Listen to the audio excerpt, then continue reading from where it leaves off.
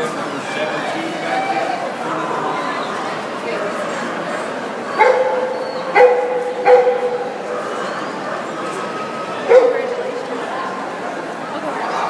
I'm sorry. Congratulations.